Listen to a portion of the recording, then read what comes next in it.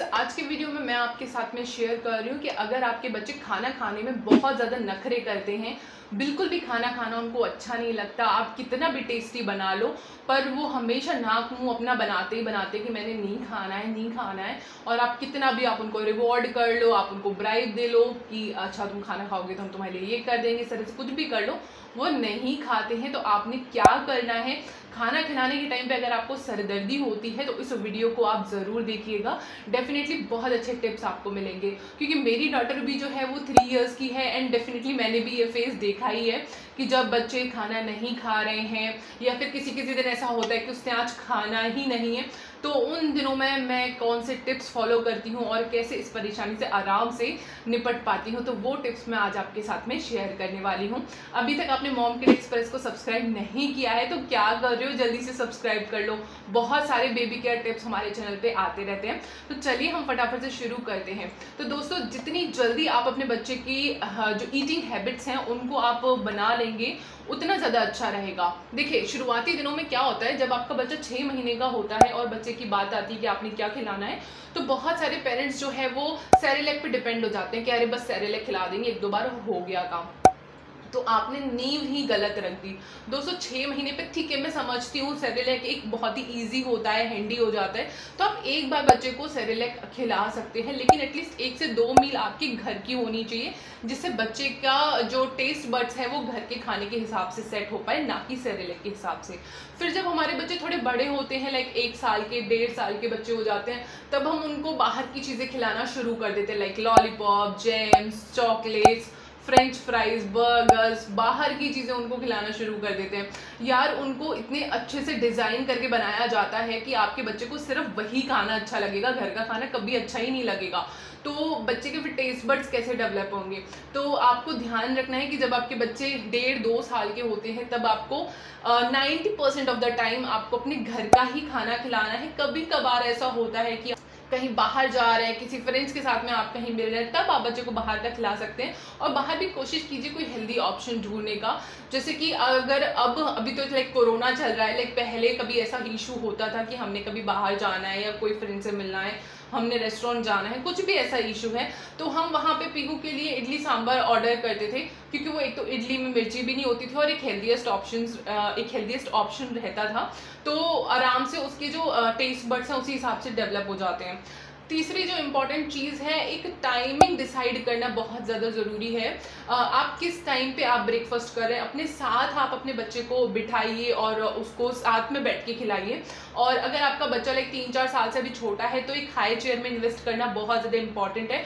मैंने love love की high chair का रिव्यू किया था ऑल वो एक स्पॉन्सर्ड वीडियो थी बट आई पर्सनली मुझे बहुत ज़्यादा वो जो हाई चेयर है, अच्छी लगी। और साथ ही साथ मुझे बहुत ज़्यादा इंपॉर्टेंट लगी, क्योंकि जब मैं गुड़िया को पहले खाना खिलाती थी तो वो बहुत ज़्यादा कभी टेंट्रम्स थ्रो कर रही है, कभी उठ के भाग रही है, मैं उसको पकड़ रही हूँ। वो सारी चीज़ें बहुत ही ज़्यादा क्योटिक लगती हैं। लेकिन जब आप बच्चे को एक प्रॉपर चेयर पर बिठा देते हैं और अच्छे से बच्चे को ये कि अब मुझे खाना फिनिश करना है, तभी मैं इस चेयर से उठूँगी तो बच्चा पूरा खाना फिनिश करता है। बच्चे से एक्सपेक्टेशन आपने ज़्यादा नहीं रखनी। मैंने बहुत जगह देखा है कि कल तक आपका बच्चा जो है, वो वन बाय फोर्थ रोटी खा रहा था और आज आप ये वीडियो देखने के बाद में कल आपको सीधे ये डिसाइड कर ले कि नहीं, अब तो मुझे एक रोटी खिलाना है। बहुत इंपॉर्टेंट है घर का खाना खिलाना। तो दोस्तों, ऐसे में बच्चे भी घबरा जाएँगे और आप जो बच्चों के टेंट्रम्स थ्रो करते हुए देखोगे ना कि वो इतना ज़्यादा टेंट्रम्स थ्रो कर रहा है, आप भी नेक्स्ट डे उसे कीप अप नहीं कर पाओगे। तो एक्सपेक्टेशन थोड़ी सी लो रखिए। इवेंचुअली धीरे धीरे बिल्डअप कीजिए बच्चे का खाने का पैटर्न और क्वांटिटी एक साथ आप एक एक्सपेक्टेशन जो है वो बच्चे पे मत डालिए। लाइक अगर आपका बच्चा तीन साल का है और वो लंच और डिनर में एक एक रोटी खा लेता है तो it is more than enough लेकिन अगर आपका बच्चा वन बाय फोर्थ रोटी खा रहा है। आपने करना क्या है वो सुनिए। पहली चीज़ अगर आपका बच्चा मान के चलिए दो साल का है तो सबसे पहले आपको ईटिंग टाइम्स एंड कौन कौन सी मील्स आपको अपने बच्चे को देनी है वो ध्यान रखनी है। सबसे पहले आपको देना है उठते ही बच्चे को लाइक हाफ़ एन आवर के बाद तुरंत उठते ही भी उठते भी देना uh, मेरे को बहुत सही नहीं लगता। पर्सनली मुझे नहीं अच्छा लगता कि जो लोग उठते ही बच्चे को दूध पिलाना शुरू कर देते थोड़ा सा बच्चे को उठते दीजिए थोड़ा सा घूमने दीजिए। एक आ, मतलब एक जोन में आने दीजिए। आधा घंटे के बाद में आप बच्चों को चाहें तो कुछ सॉलिड पहले खाने के लिए दीजिए। मैं तो मेरी पीहू को हमेशा एक बनाना खाने को देती हूँ। एंड देन उसके बाद में जो है मैं ब्रेकफास्ट कराती हूँ लाइक जैसे कि मान के चलिए वो सात बजे उठी। तो मैं साढ़े सात पौने आठ बजे उसको दे देती हूँ एक बनाना खाने के लिए। एंड नौ बजे तक क्योंकि बनाना बहुत ज़्यादा हैवी नहीं होता बच्चों की एक्टिविटी इतनी ज़्यादा होती है कि वो डाइजेस्ट कर लेते हैं। फिर नौ बजे मैं उसको ब्रेकफास्ट देती हूँ। ब्रेकफास्ट में बहुत ज़्यादा हैवी उसको नहीं देती हूँ क्योंकि आई नो उसने एक, एक बनाना एक तो पहले खाया है और दूसरा अभी उसने दूध पीना है।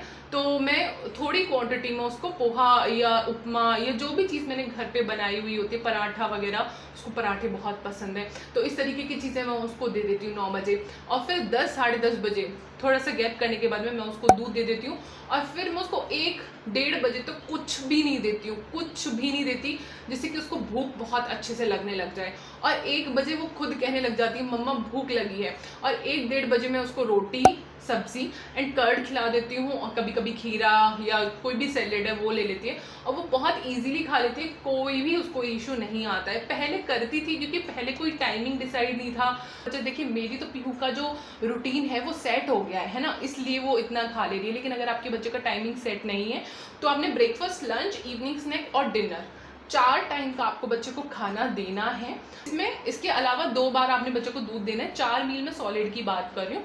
उस टाइम पे अगर आप बच्चों को खिलाएँगे लाइक सुबह आठ बजे, फिर बारह बजे, फिर शाम को चार बजे, फिर रात को आठ बजे तो अगली मील तक बच्चे को बहुत अच्छे से भूख लगने लग जाएगी और बच्चा खाएगा कैसे नहीं? जब भूख लगेगी, अपने आप ही खाएगा। फोर्स नहीं करना है।